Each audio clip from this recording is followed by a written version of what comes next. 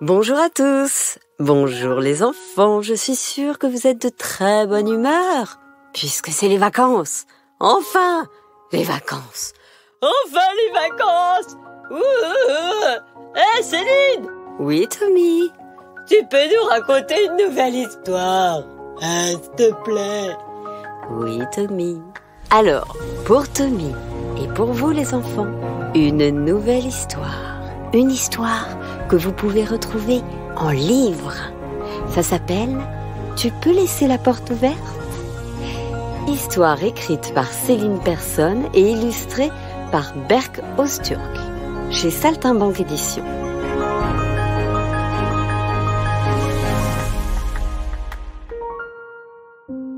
Bonne nuit mon chéri, dit maman.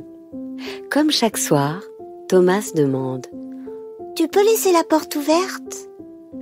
Comme chaque soir, maman acquiesce en souriant. Ours est curieux. Ours, c'est le doudou de Thomas. Pourquoi veux-tu toujours laisser la porte ouverte? Chut, papa et maman pensent que c'est parce que j'ai peur. Mais en réalité, c'est un secret. Si je te le dis, tu me promets de ne pas leur répéter? Promis.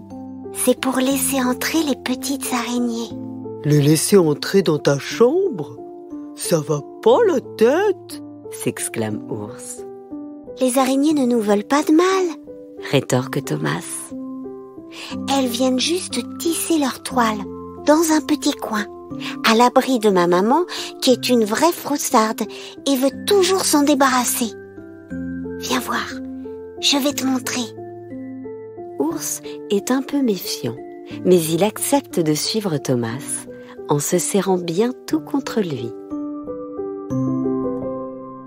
Et là, dans un recoin, quatre araignées jouent à la corde à sauter. Écoute bien, ours, on les entend chanter. Ours s'approche et tend l'oreille. Saute, saute, la corde à sauter. Saute, saute, à cloche-pied. Saute, saute, la corde à sauter. Saute, saute, à cloche-pied. Ah oui, c'est joli. Constate-t-il, rassuré. Et elle reste là combien de temps? Le temps de leur récré. Après, elles repartent à l'école des arachnides. L'école des quoi? demande Ours. Des A-R-A-C-H-N-I-D-E-S. Arachnides. Elles y apprennent à tisser les toiles les plus sophistiquées. Et aussi à éviter les coups de magazine et les coups de pied de ma maman. Et c'est où leur école demande Ours. Thomas lui explique que les araignées ont construit leur école dans le grenier, un endroit tranquille où maman ne met jamais les pieds. Ours est un peu perplexe, mais il doit bien avouer que ces petites bestioles sont plutôt fascinantes. Finalement, elles n'ont pas l'air bien méchantes. Puis soudain, un bruit de pas feutrés attire son attention. Ours se retourne et reste bouche bée devant un loup passant tranquillement devant lui. Thomas se précipite vers l'animal en criant de joie, puis l'enlace chaleureusement. Oh, Moulou, tu es là, Moulou Mais tu es fou s'écrie Ours effrayé. Mais non, il est mignon comme tout. C'est un vrai doudou. Le pauvre en a assez d'être toujours le grand méchant des histoires d'enfants. Alors, il vient me rendre visite, de temps en temps. Tandis que le loup s'installe confortablement sur le lit, Thomas poursuit avec enthousiasme. Et il y a des monstres aussi. Des monstres? S'épouvante Ours, tout tremblant. Ils sont très gentils, je t'assure. Viens, je vais te les présenter. Thomas ouvre alors les deux battants de sa penderie, à l'intérieur de laquelle sont confortablement installés deux monstres en plein goûter. Je leur apporte souvent des biscuits. Monstre vert préfère ceux au citron et monstre rouge raffole du chocolat. D'ailleurs, ça me fait penser qu'ils vont bientôt en manquer. Je dois rappeler à maman d'en racheter. Ours est stupéfait. Ta maman achète des biscuits aux monstres Mais non, gros bêta. Ma maman pense simplement que je suis très gourmand. Elle ne sait pas que les monstres se cachent dans mon placard. Sinon, tu penses bien qu'elle s'empresserait de les faire déguerpir. Et ça, moi, je ne veux pas. Les monstres sont très bien là. Hein, les gars Les deux monstres répondent par un grognement approbateur. Des miettes de biscuits plein les dents. Ils sont rigolos, pas vrai? S'esclave Thomas. Oui, mais quand même un peu dégoûtant. Mais pourquoi sont-ils ici? Personne ne veut les accueillir. répond Thomas. Pourtant, avoir de grandes dents et des yeux globuleux ne veut pas dire qu'ils sont dangereux. Ils sont simplement différents de nous. Monstre vert, qui a terminé de manger, se lève alors pour aller chercher des cartes à jouer. Puis il s'assoit en tailleur et commence à les distribuer. Qu'est-ce qu'il fait? demande Ours, intrigué. Il veut faire une partie de Uno. On joue souvent tous les deux.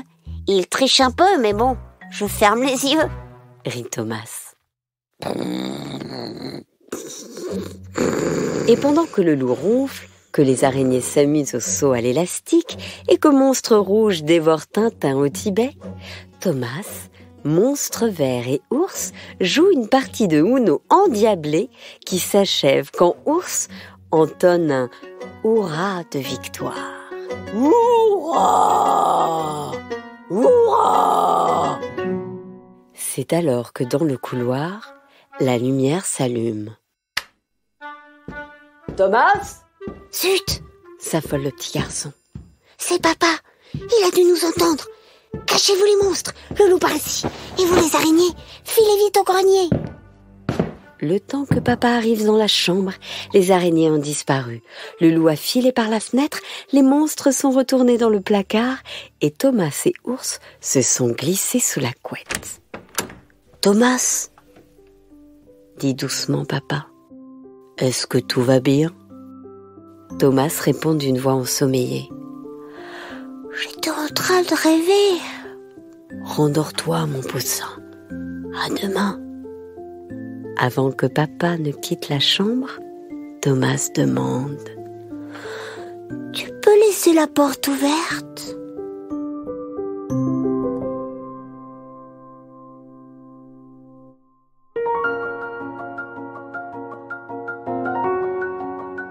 Voilà, c'était Tu peux laisser la porte ouverte? Histoire écrite par Céline Persson et illustrée par Berkos Turc aux éditions Saltimbanque. J'espère que cette histoire vous a plu. Sachez que le livre existe et que vous pouvez le trouver dans vos librairies.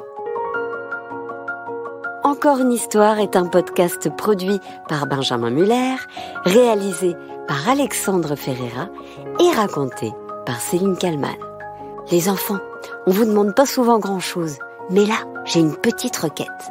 Est-ce que vous pouvez aller mettre plein d'étoiles, 5 étoiles, sur Apple Podcast et sur toutes les autres plateformes d'écoute.